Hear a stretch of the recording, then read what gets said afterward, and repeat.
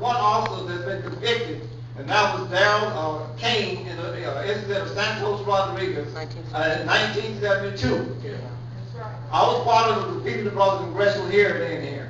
Uh, there was a woman named Etta Collins, an eighty-year-old You got 10 woman. Okay, eighty-year-old woman who was shot by, by an officer.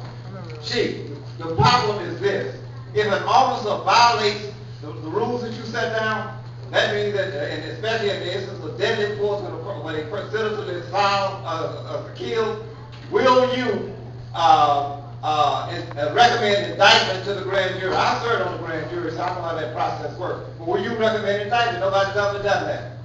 In your investigation, you find that, uh, uh, uh, but I do believe in independent investigation. Yeah. But if an officer is, is, is vi- is clearly violating those rules that you set down. You went for a whole minute. Okay, Well, I'm so just saying, six, I'm just six saying. months, so six months into, and six months into my being chief, two officers used excessive force. No, that's not my question. No, I'm answering the question. My question is. And, and there was an excessive force case on South Dallas where officers used a baton to beat young man on a motorcycle. Y'all remember that? Yep.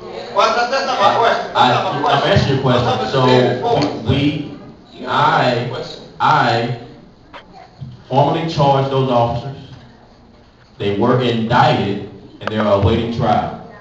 So the, No, you have not. That's not in it, the of answered your question, if you wanna have a That's what I'm sidebar conversation with them, you can have. only Now we're gonna pray, now we're gonna pray, and we're gonna leave, and you can ask your questions individually, but he answered the question the way he wanted to. So we're gonna pray now, we're gonna leave. Thank you all for being here, and this is the, this is the beginning of a conversation, not the end, okay?